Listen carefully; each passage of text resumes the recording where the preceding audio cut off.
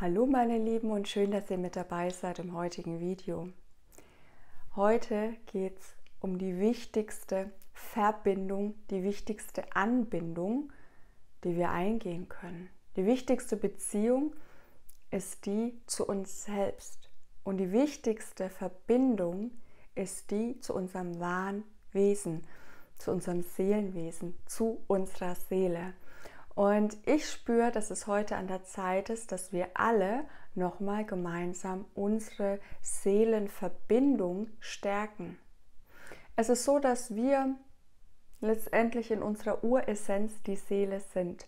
Die Seele wird immer Wege finden, mit uns in Kommunikation zu treten. Nur wenn wir die Impulse, die kleinen Impulse, die kleinen Hinweise nicht verstehen, dann werden sie immer lauter und unsanfter.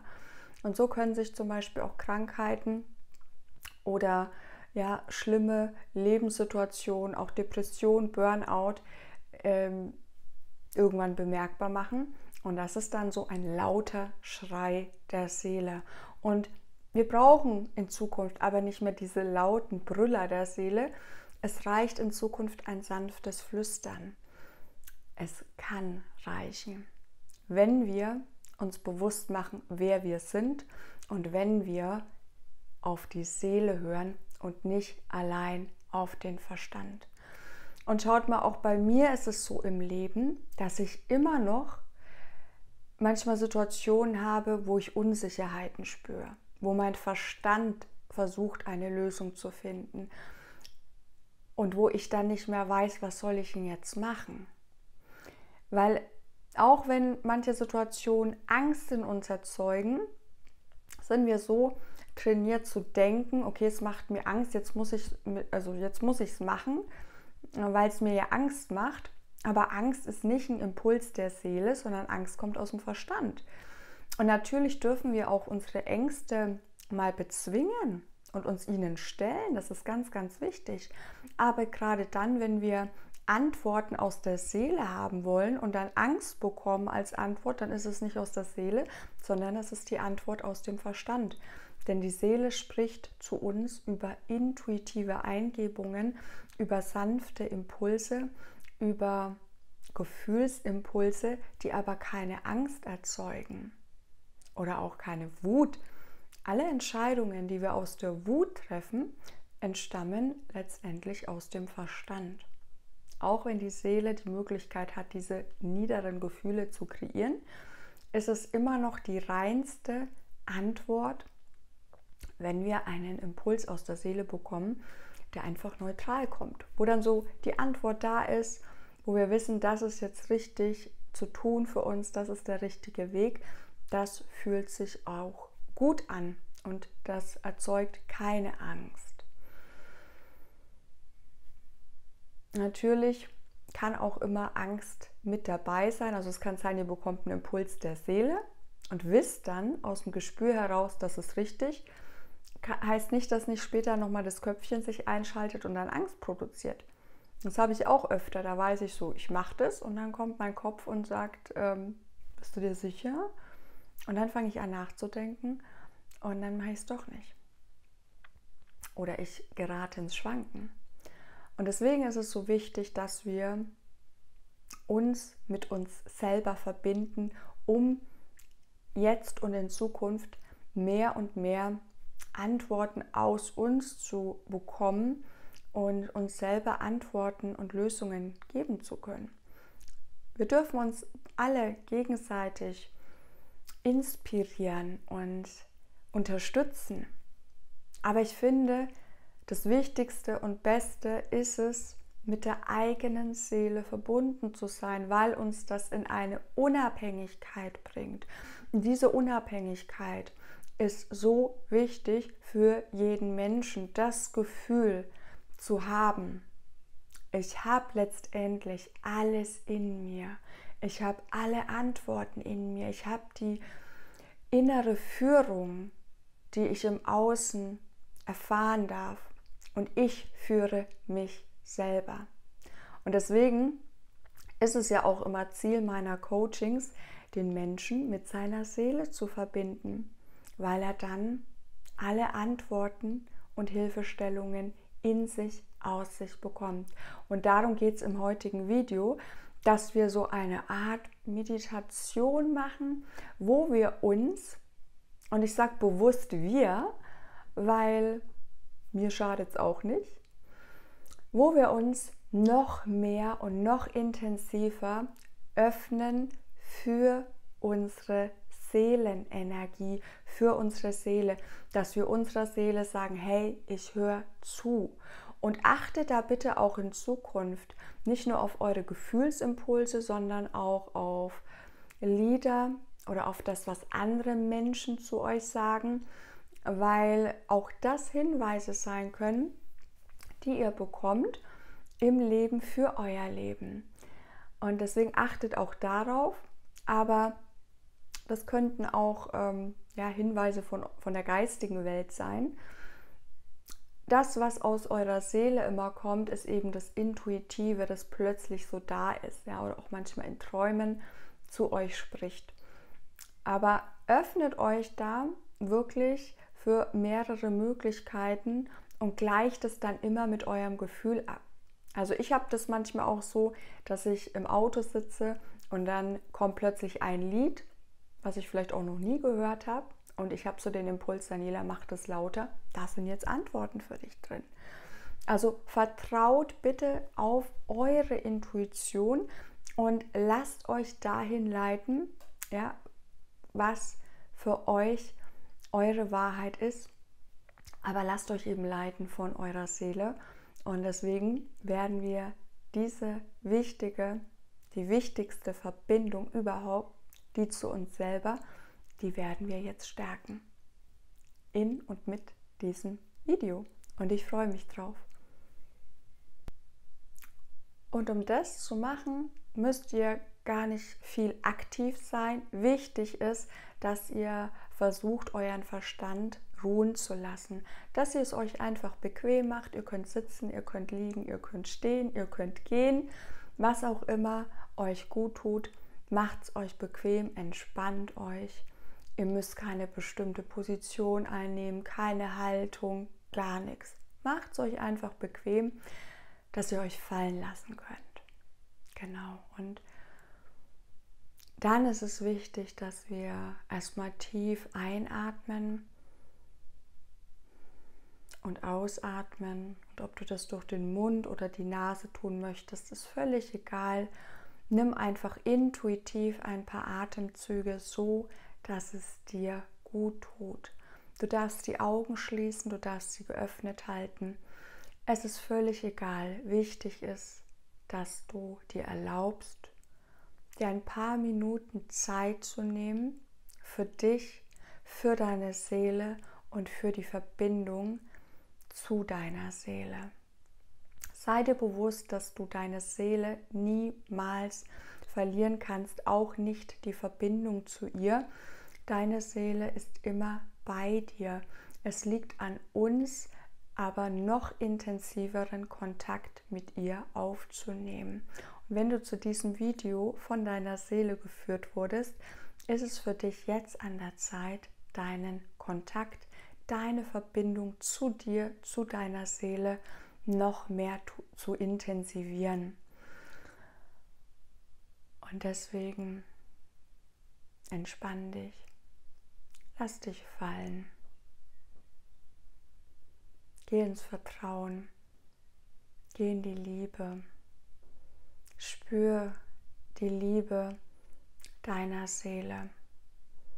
In deiner Essenz, in deiner Seelenessenz bist du pure Liebe. Du bist Freude, du bist Leichtigkeit. Du bist nicht schwer, du bist nicht verkopft, bist leicht, du bist verspielt, du bist kreativ und du bist unglaublich liebevoll und du darfst dich nun jetzt und hier mit deiner Liebe verbinden, mit deiner Seele, mit deiner Leichtigkeit, mit deiner vollkommenen Schönheit. Jede Seele ist wunderschön. Und um noch mehr in die Liebe, in die Selbstliebe zu kommen, ist es enorm wichtig, dass du dich mit deiner Seele noch mehr verbindest. Nicht nur, dass du die Führung hast, sondern dass du auch deine Liebe spüren kannst. Also öffne dich für deine Liebe, öffne dich für deine Seele. Stell es dir vor, wie sich in deinem Herzraum ein Spalt öffnet oder ein Fenster oder eine Tür oder einfach eine Öffnung, wo du plötzlich bemerkst, dass Licht herausströmt und Licht empfangen werden kann. Du spürst, wie sich dein Herz öffnet und wie pures Licht und Liebe herausströmt. Und du spürst dieses Licht, du spürst diese Liebe, du spürst dein Licht und deine Liebe. Und dieses Licht strahlst du in die Welt. Beobachte, spür in dich hinein, was das mit dir macht, wie sich das anfühlt. Was ist das für ein Gefühl?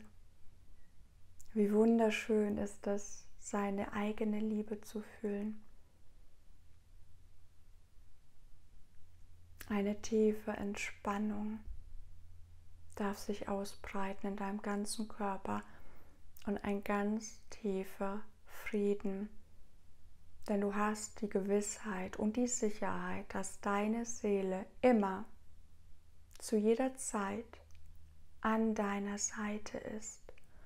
Du bist deine Seele und du bist vollkommene Liebe und Licht. Du bist vollkommene Schönheit und du hast zu jeder Zeit immer deine Antworten. Und deine Antworten kommen aus deiner Seele. Öffne dein Herz, um sie fühlen und empfangen zu können. Und öffne deinen Geist für Leichtigkeit. Es muss nicht kompliziert sein. Du musst, mir, musst dir nicht den Kopf zerbrechen. Alles ist viel leichter, als wir denken.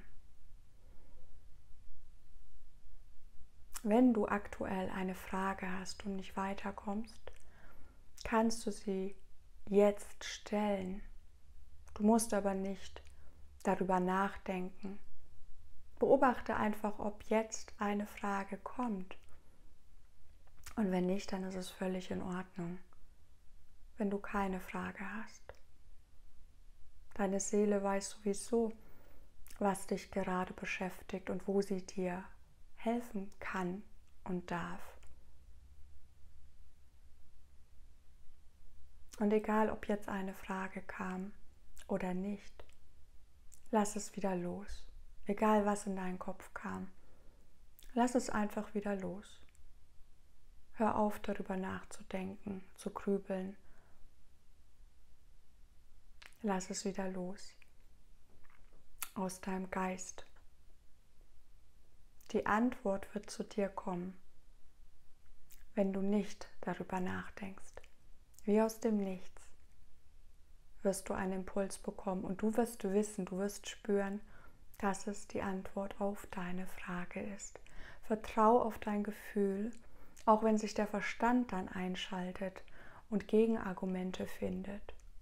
Hör auf das Gefühl, das du als erstes hast oder hattest.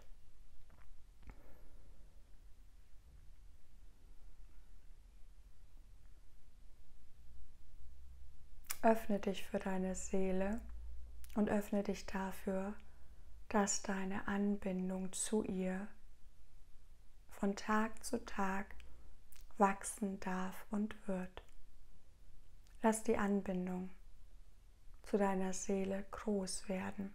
Erkenne, wie mächtig du bist, wie liebevoll diese Macht ist, wie erhaben und wie kraftvoll du bist. Erkenne, deine wahre Kraft und deine wahre Größe, indem du deine Liebe erkennst, die du bist.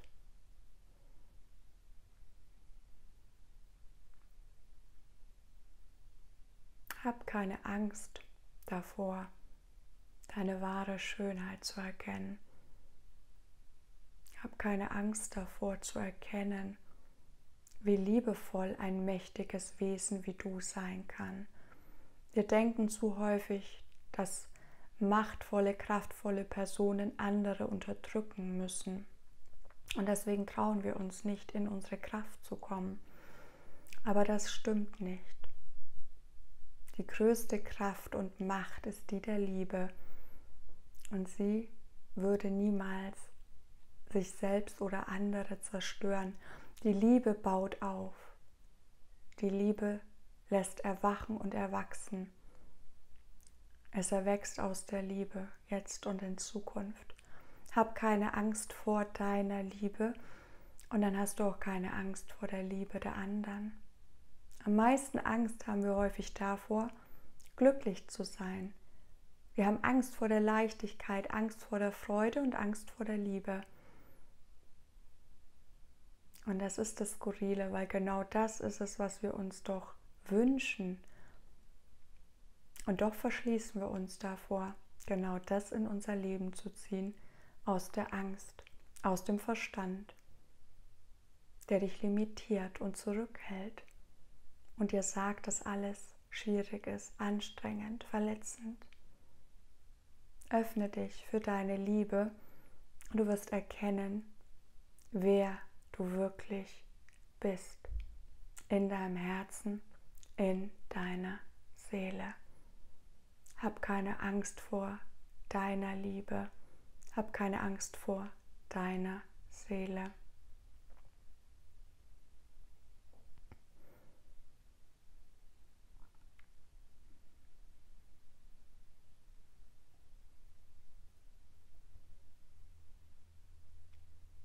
Ja, es ist tatsächlich so, dass wir am meisten Angst davor haben, zu lieben und geliebt zu werden. Und deshalb verschließen wir uns und deshalb limitieren wir uns. Also hab keine Angst, dich zu öffnen und geöffnet zu bleiben. Denn nur so ist die Anbindung zu dir, zu deiner Seele möglich und kann intensiviert werden. Und dein Leben wird sich dadurch erleichtern. Es wird liebevoller und es wird kraftvoller. Und jetzt gucke ich mal noch, was der Tee dazu zu sagen hat. Bin schon ganz gespannt. Ich gucke ja da vorher nicht drauf.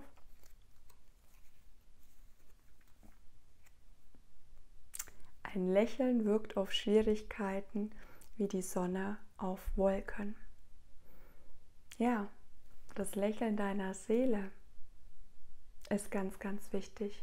Denn das Lächeln deiner Seele macht nicht nur dich glücklich, sondern auch andere. Und ich möchte ganz viele lachende Seelen in Zukunft sehen und lachende Gesichter, die aus der Seele strahlen und die wirklich glücklich sind im Herzen. Und das sehen wir in den Augen. Ob die Augen auch strahlen oder ob nur der Mund lächelt oder lacht oder ob da auch in den Augen das Funkeln ist und die Freude und die Liebe deiner Seele. Und auf deinem Weg, auf deinem Seelenweg, darf dir, wie immer, völlig egal sein, was andere über dich oder dein Leben denken. Denn wichtig ist, wie du dich fühlst.